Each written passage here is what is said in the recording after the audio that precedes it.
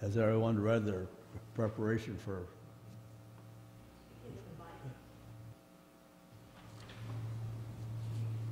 We have with us this morning, Reverend, there it is. We have with us this morning.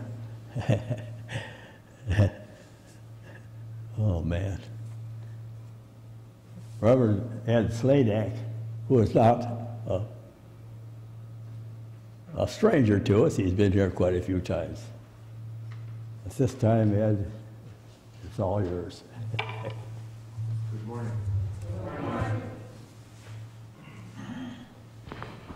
Would you join with me in our call to worship? Let us go in heart and mind to see what has come to pass. Let us go with the, let us go with the shepherds. Let us go with the wise men. Let us go find God's promise. for us. Let us go with the poor and humble. Let us go with all the world, with all the peoples of the nations. Come, let us worship. Come, let us adore him. Christ the Lord. Let us stand and sing number hymn number 23.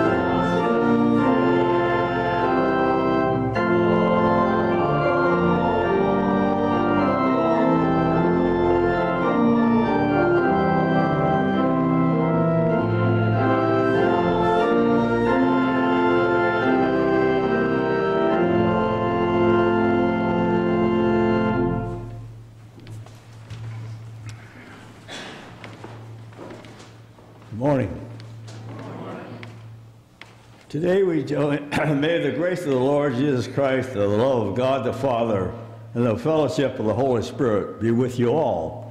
And also with you. Today we join the generations of faithful believers in offering ourselves to God through the words of the psalmist. Today's reading is Psalm 148. Praise the Lord from the heavens. Praise him from the skies. Praise him, all his angels. Praise him, all the armies of heaven.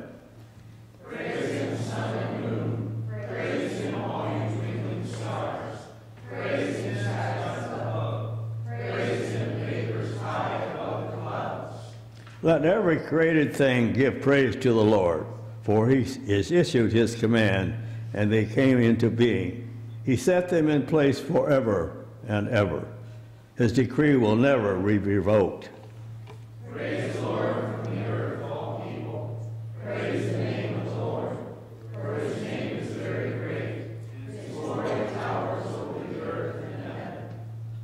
He has made his people strong, honoring his faithful ones who are close to him.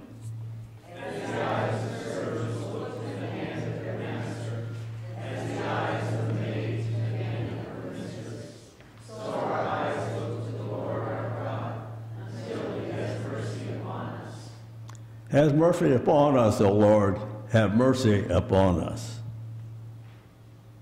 Come, all you who are struggling, come, all you who are crippled by pain and suffering.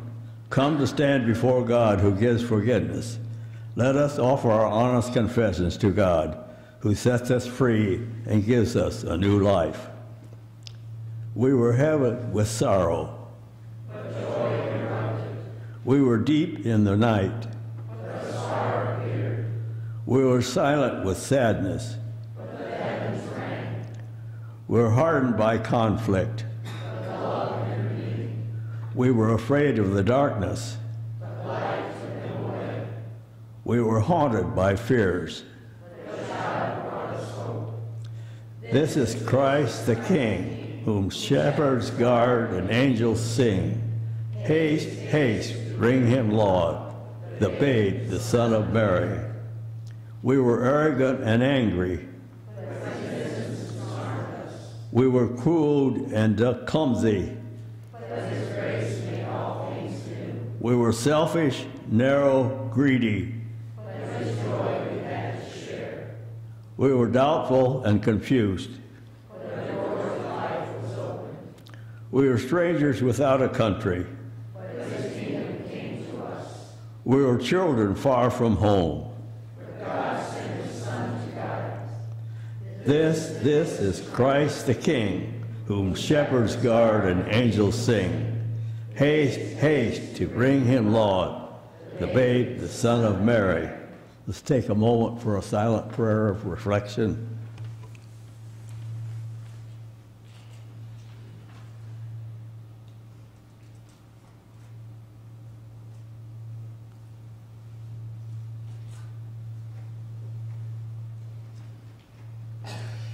Amen. The God who promised never to leave us or forsake us has come to us in Jesus Christ, who binds up the brokenhearted, heals all of our infirmities, and leaves, relieves our burden of sin. So rise, shine, for your light has come, and the glory of the Lord has risen upon you. Thanks be to God. Let us share a moment of God's abundant love with each other.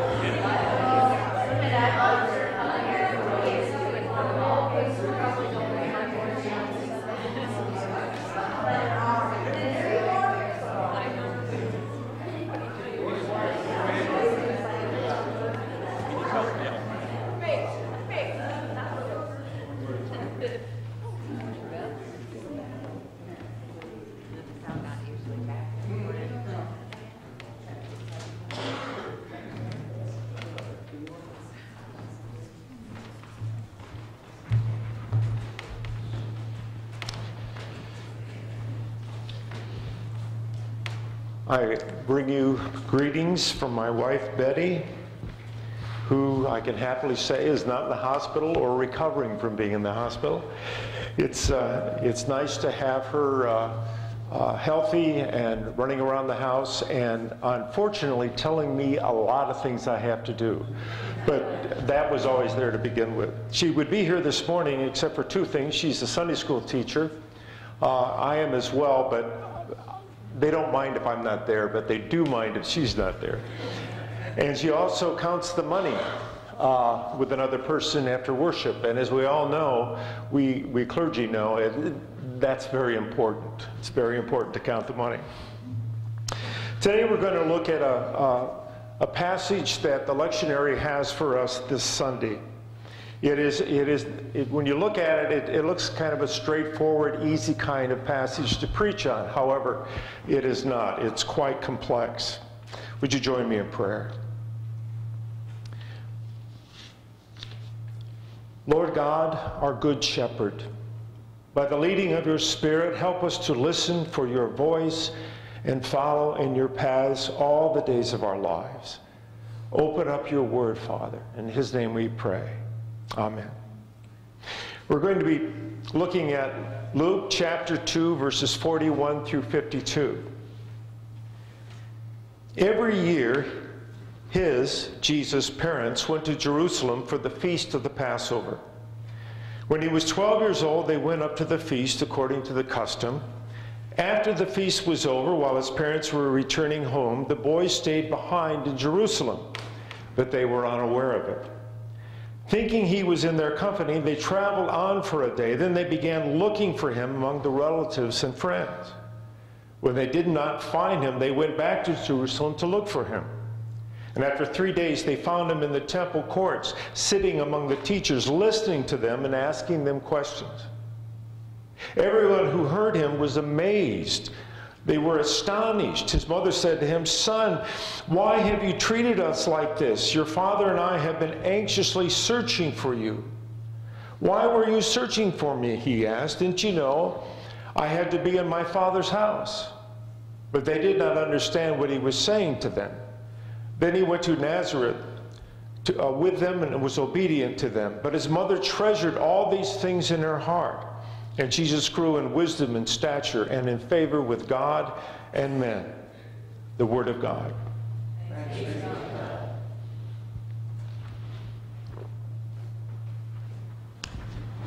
I cannot imagine the terror that must have seized the heart of Mary to find that her son was missing. But as we know, she would see far worse things happen to her son in the years ahead. The Gospels make it very clear that none of his disciples, not even the ones closest to him, ever quite figured him out this side of Pentecost, which meant that he spent his whole earthly ministry that can only be whole earthly ministry with not even one person fully understanding him. Now, to some extent, that happens to all of us. But we can only begin to imagine the riddle that Jesus presented to his followers. It seems to be built into the human psyche as long as the going is good, we'll go along. We'll get along. We'll believe. We'll, we'll, we will withhold our doubts. Pardon me.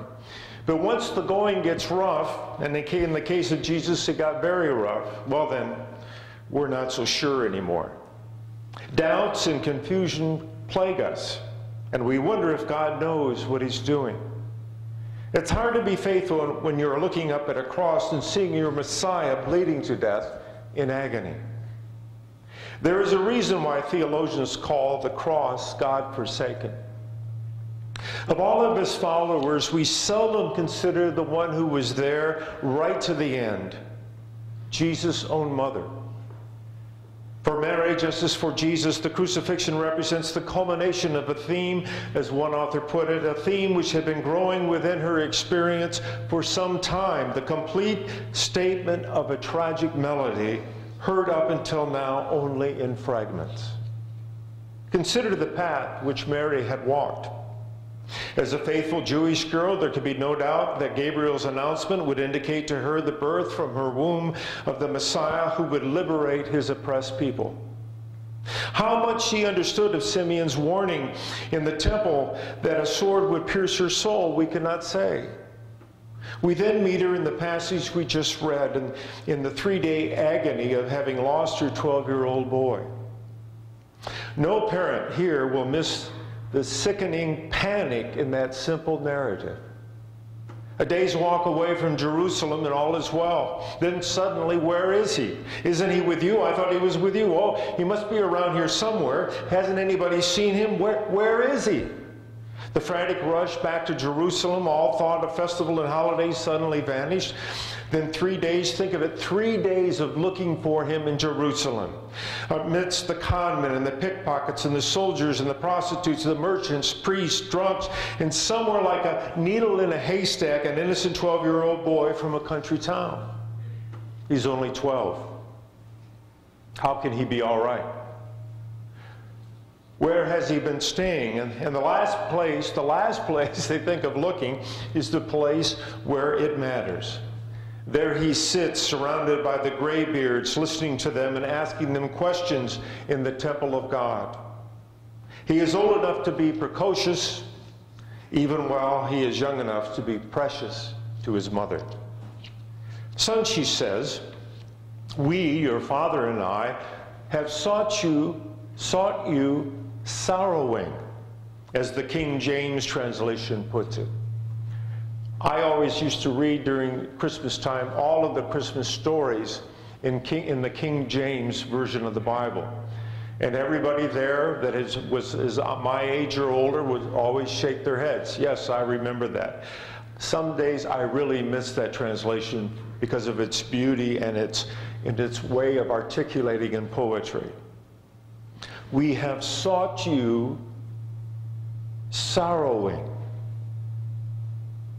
And all those replies she gets is that he is about his father's business, an implied rebuke to her mention of Joseph, his father. Jesus has to be there, don't you know, debating with the learned in the temple, growing up in wisdom and stature and in favor with both men and God. How is it, mother, that you don't know. Thus begins a lifelong dialogue between the two. The puzzle only deepens as he grows up further, meeting her rude with meeting her with rude shocks. Woman, what have you to do with me? My hour has not yet come. Who are my mother and my brothers? Anyone who does the will of God is my mother, my sister, my brother. Mary looks on in that strange and beautiful scene at the wedding of Cana in Galilee while Jesus answers the need she expresses, but re rebukes her for expressing it. Later, she comes from with her other sons to find Jesus in the crowd at a tavern, asking for him, wanting to find him. Son, we have sought you sorrowing. And all the answer she gets is that as far as he's concerned, family ties are not important in the kingdom of God. What kind of son is this? What kind of Messiah is that? Mary has to watch in horror as her well brought up son takes up with the most disreputable people, rabble in town. He makes friends with the people on the wrong side, with people of the wrong sort. He gets on easy terms with the Quislings, the taxmen who were collaborating with the occupied forces. He seems to exercise a strange fascination and attraction for young women of, of uh, not such reputable reputation. And as we meet Mary at the foot of the cross years later, where she again has sought him sorrowing, and now she finds him at last. So, this is where all this has led, she thinks to herself to the shame and humili humiliation of a crucifixion. He has run away again. She thought she knew him, and now she finds that she doesn't. He is the prodigal son off in the far country, wasting his spiritual treasure with harlots, feeding his pearls to the swine, to the unclean rabble, to murderers and thieves, the ones who bracket him on Calvary. Son, we have sought you, sorrowing And despite the modesty of the paintings and crucifixes, it is a fact that men were crucified naked, a matter of shame to the Jews for whom nakedness was an indecent pagan habit when playing sport, and a double shame to the Jewish mother for whom the circumcision of her firstborn had been the proudest day in her life. Think of the Magnificat. Mary sings, My soul magnifies the Lord, and my spirit exalts in my Savior. Now think of this in the minor key. My soul is in pain before the Lord. My spirit is in anguish in God, my deceiver. The taunts directed at Jesus cut into her too. If you are the mother of God, bid him now come down from the cross. All generations will call you blessed. Gabriel had never warned her about this, never let on that this sort of thing was going to happen, never let, you know, telling her a secret about the big things of God. He never let her know that the disaster was part of the whole experience of having Jesus as her son. With all that love, who would have thought there could be such pain? What is the relationship between love and pain, anyway? Everything. I'm in the process of reading a 600 page book over Christmas. My wife says, This is a hobby. And I said, Yes, this is really good.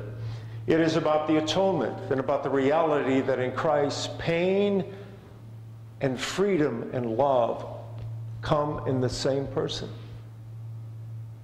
There is no love ultimately without pain. That is the rare thing, that is the real thing that we all know in life. In Mary is focused sharply the pride and the hope of Israel, and now the disappointment and the horror of Israel. Here was the one to redeem God's people. Blessed is the King who comes in the name of the Lord. The agony Jesus experiences on Palm Sunday, weeping over Jerusalem, even while the crowds are singing hosannas, is acted out by Mary on Good Friday, weeping over her son as the crowds are yelling for his blood. Hasn't she known all along that he was sailing close to the abyss, keeping such disreputable company, offending the scribes and the Pharisees, challenging the sacred law of God in respect to the kosher regulations and Sabbath principles? What did he think he was doing? He was supposed to be upholding and vindicating Israel, not tearing down Israel's uh, institutions. Maybe she had been wrong too. Maybe she had just imagined Gabriel's visit. Maybe it was just wishful thinking. After all, who heard of a God, even Israel's God, actually being born as a baby? And didn't even and didn't every Jewish girl dream of becoming the mother of the Messiah? Maybe she had just let her dreams get away from her. If Jesus presents us with an unfathomable figure in the Gospels, so does Mary. They both present an enigma, a mystery. Here is a woman full of grace, to be blessed indeed by all generations, to be called, as her cousin Elizabeth said, the mother of my Lord. And then by the later church, she was called Theotokos, the God bearer, mother of God. But Mary is, thoroughly, is a thoroughly human being, sharing the misconceptions and the puzzles and the consequent pain of the Jewish people of her day, whom, as the Messiah's mother, she represents. She has given birth to the Redeemer of the world, but how is he to redeem the world? And what will she feel when that comes about? There is a sword in her heart also. We need to go back to that scene once more of the Passover when Jesus was 12 years old. In my mind's eye, I can see Luke's painting of the scene on campus. Jesus sits off, uh, off center to the left. The gray beard doctors and scribes sitting around him so that the eye is drawn to him on one side. But the young Jesus is looking away from them to the other side of the picture. And in the foreground to that side, there rush in Mary and Joseph. Their faces a mixture of three day exhaustion, worry, relief, anger, and love and bewilderment as they burst into the scene of tranquil scholarship. And as the two, Mary and Jesus, fix their eyes on, upon one another, a third image is born with the words, how is, it that, how is it that you did not know? Didn't you know I had to be in my Father's house? It is a sort of picture which demands that you sit back and look at it again. You will not easily exhaust his strange power, even when the tension relaxes and Jesus goes home like a good boy and grows up in wisdom and stature and in favor with God, with God and men. Some biblical scholars believe that Mary not only represented Israel, but she also represents the whole world, the world which yearns and groans for redemption. The world that groans for justice and putting things right. The world yearns for compassion and love and tenderness. The Bible tells us that Jesus came into the world and the world was made through him, but the world knew him not. Mary, how is it that you did not know? He came to his own, and his own received him not. Mary, how is it that you didn't know? This is how it always was and how it always will be until the day when every knee shall bow at his name. He is that for which Israel longed, for which the world longs, and yet his coming seems to bring not joy, but only pain. The Jews knew, the, knew this to the extent that one of the great pictures for the arrival of the last days, the days of redemption, the, day, the year of our Lord, the, was the powerful and shocking image of a woman in the act of giving birth. It is an image which speaks of great hope, the promise of new life, but also it speaks just as powerfully, especially to the ancient world with their, with uh, their not very sophisticated medical uh, science. It speaks of the risk and fear of sharp and terrible pain, of forces suddenly unleashed, which through life giving intent seems to carry death at their heart. Mary called to be the God bearer, is called to take upon herself the labor pains of the new age. Not at Bethlehem only, but in Jerusalem at Passover time, and not at once, but twice at the climatic points of her whole life. Every time Jesus came into her life, there was pain. We're not told that she said anything as she stood at the foot of the cross. Jesus, we are told, gives her to his beloved disciple to care for her in this place. She is about to have another three days of agony, mourning the loss of Israel's hope and consolation. Another three days before love's bright pain will fill her life, as before it filled her body, not of the will of men, but of God. But the essence of the scene is encapsulated in the book, in the look that passes between the son we can't quite figure out and the mother who is equally a mystery to us. It is the look where the son, where son we have sought you sorrowing meets how is it that you did not know? And the meaning of it all is not found by ignoring or bypassing the bitterness and puzzle and doubts, but by looking deep within this scene. Here he is. Here is your disappointment, your runaway son. Did you not know that he must be about his father's business? Arguing with love and pain and reconciling them? Lifted up in wisdom and stature and in anguish, both of God and man. How, how does love come by death? Each one of us here is called to be a God bearer. We too, this side of Pentecost, carry this paradox of love and pain and creative tension in the mystery of our faith and in the mystery of our Savior. We are here in this new and scary version of the world, and right now it seems to be especially scary, called to be those through whom God's redeeming love will still come to birth in the world. For that reason, because of the model we have in Mary, we are not to be amazed at the same time a sword should pierce our own hearts.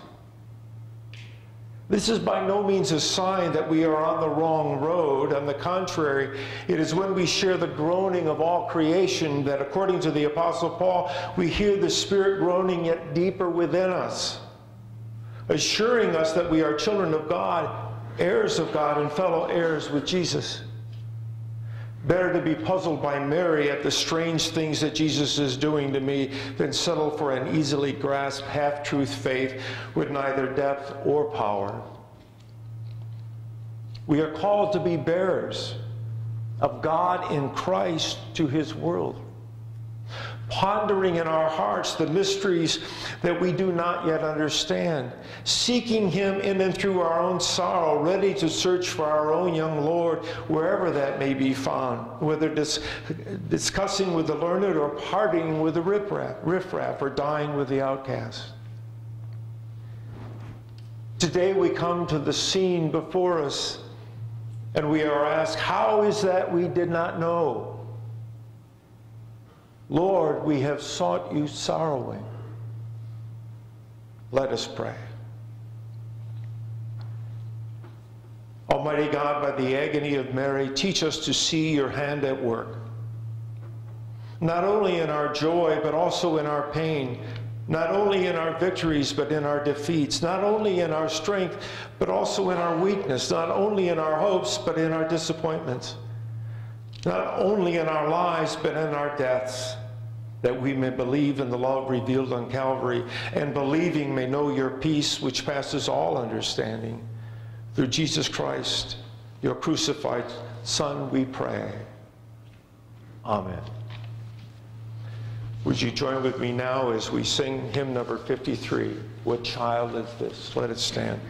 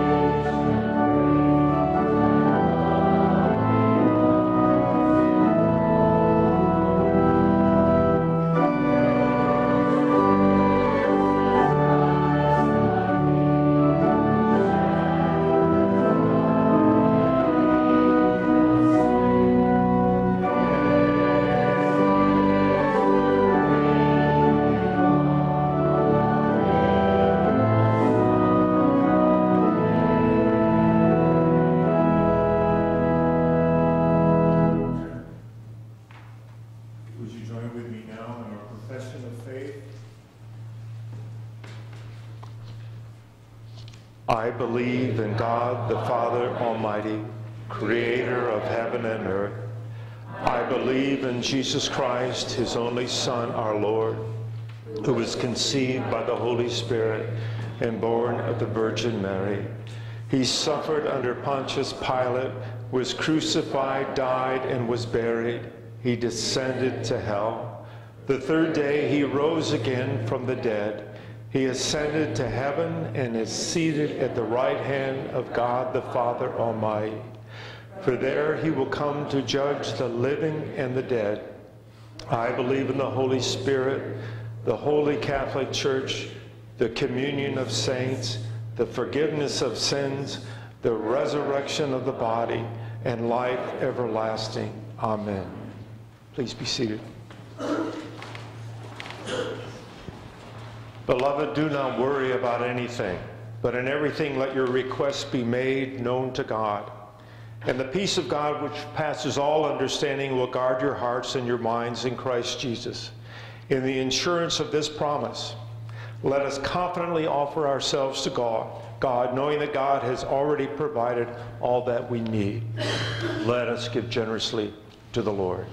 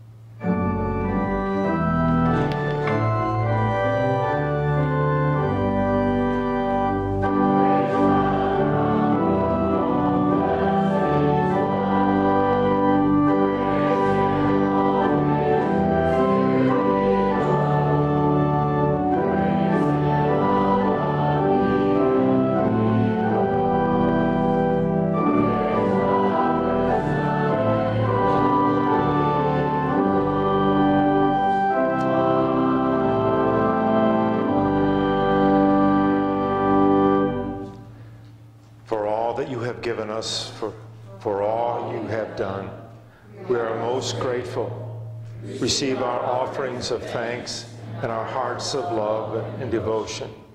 Amen.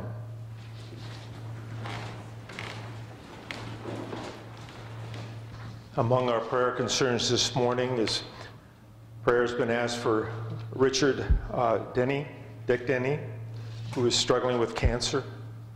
We ask that you pray for Barb Morris, who had a stroke last week. And Elijah will be three Monday. Praise God. Are there other prayer concerns? Uh, those who don't know, Kathy Ripper, who used to go to this church, her father passed away. Kathy who is now Kathy. Yes, she was her father passed away. Let us pray.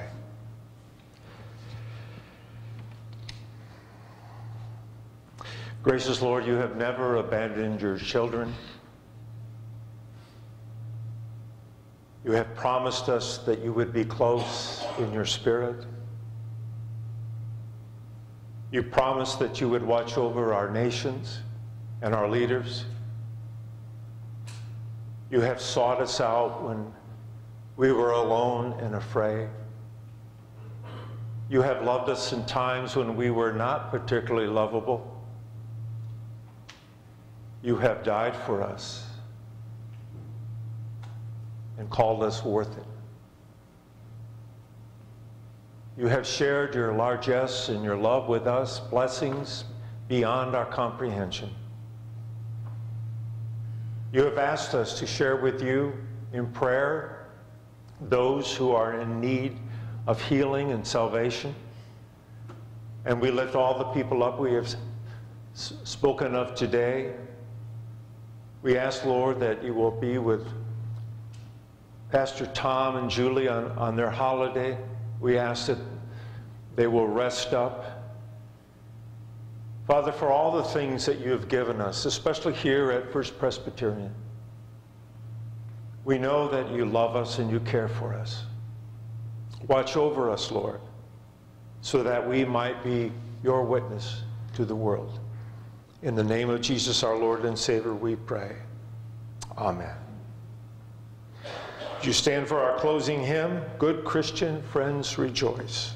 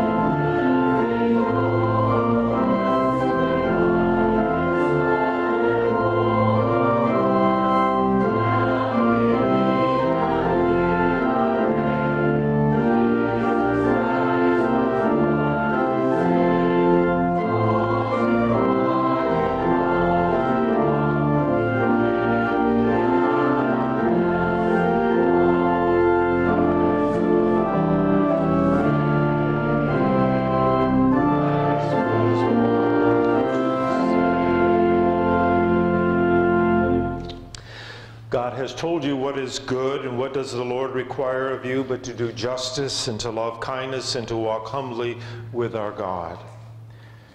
May the love of God surround you, the wisdom of Christ guide you, and the power of the Holy Spirit encourage you as you joyfully proclaim our world belongs to God. Amen. Have a great day.